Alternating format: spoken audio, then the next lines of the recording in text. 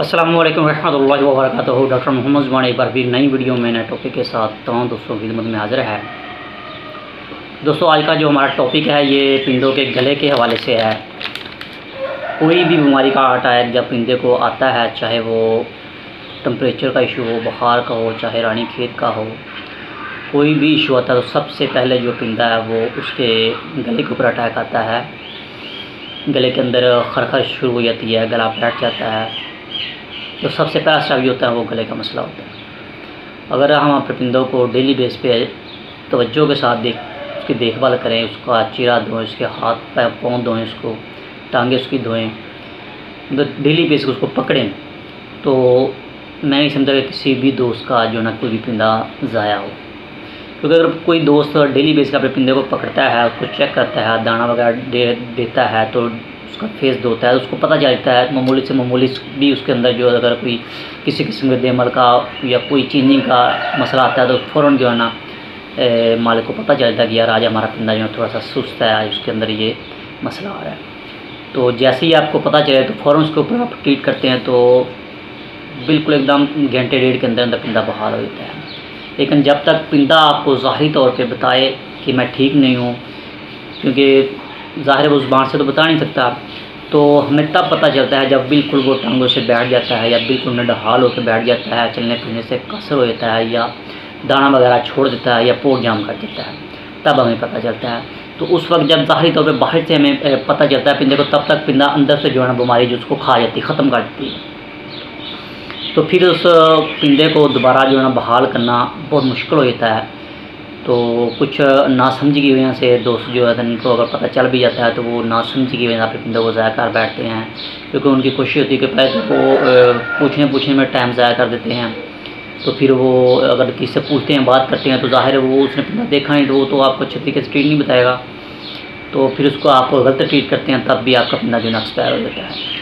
एक तो आपके पास मेडिसिन लाजमी घर के अंदर मौजूद होनी चाहिए, वो मैंने पहले वीडियो बना अपलोड की हुई हैं। जैसे कि कुछ भी आपके पिंदे को मसला खत्म होता है और दूसरी बात, जो हमारा मेन टॉपिक है आज, उसकी तरफ़ आते हैं कि गले का इशू है, गले के अंदर खर कर का मसला शुरू हो जाता है, गले के अंदर बगलम का शुरू मसला शुरू हो जाता है, गला बैठ जाता है, उस हवाले से क्या करना चाहिए? अगर तो ऐसा कोई मामला आपके साथ पेश आ रहा है, आपके साथ आपने करना क्या जनाब? आपने एक चीज़ लेनी है, ये ये आप देखें। यह जनाब कौड़ी रस। ये आप देख सकते हैं, ये जैसे ये लुक होती है ना, ये जो सड़कें वगैरह बनाते हैं तो वो ब्लैक कलर की लुक होती है। उस तरह की है, या यूँ समझ लें कि ये सलाजीद होती है ब्लैक कलर की, उस तरह की है।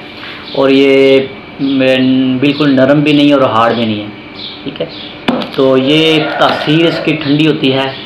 कोई भी चीज़ देने से पहले आपको उसके बारे में इलम होना चाहिए कि जो मैं चीज़ दे रहा हूँ, उसका असल मकसद क्या है। तो इसकी तासीर जो है वो ठंडी है और खुश्क है। और जायके के अंदर ये बहुत ज़्यादा कड़वी है। इसको आपने क्या करना है कि इसको आपने खजूर जितनी आपने एक गिलास पानी के अंदर भगो देनी है और ठीक 10 से 15 मिनट बाद जो है ना ये पानी के अंदर हल हो जाती खुद। ही ठीक है? तो आप इस चीज़ से इसको अच्छी तरह मिक्स हल कर लें। पानी को अच्छी तरह उसको हल करके उसके अंदर आपने बत्ती भगोनी है और अपने पिंदे के गले के अंदर करनी है। ये मतलब आपने तीन बार करना है।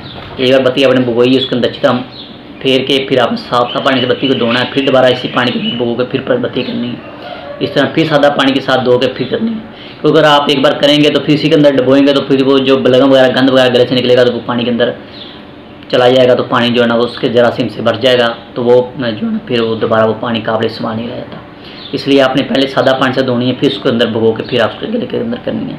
तो ये मतलब आपने सुबह टाइम करना है और रात को करना है।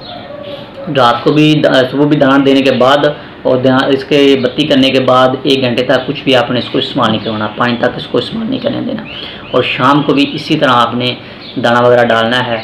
दाना आपने डाल लेते हैं तो उसके बाद ये बत्ती करें तीन बार, जैसे सेम जो मैंने प्रोसीजर बताया। है तो उसके बाद आपने इसको कुछ खाने पीने को नहीं देना। तो इन अल्लाह का फजल से कोई चीज़ और देने की ज़रूरत नहीं पड़ेगी। आपका पिंदा बिल्कुल एकदम से एक ही दिन के अंदर ओके हो जाएगा।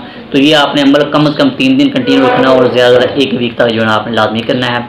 उसके अलावा जो आप परिंदों को रूटीन वाइज भी इसकी बत्ती कर सकते हैं। पानी बनाएँ, उसको बोतल के अंदर डालें और महफूज कर लें। तो डेली बेस पे एक बार बत्ती उसको पिंदे कर दिया करें। ख़ास तौर पे जो पिंदे तैयारी पे लगे हुए हैं या बाजी पे लगे हुए हैं तो उनको तो मस्ट लाजमी करना है। सबसे बड़ी कोताही आप दोस्त यही करते हैं कि आपका पिंदों को तैयारी पे लगा तो लेते हैं, लेकिन बत्ती वगैरह नहीं करते।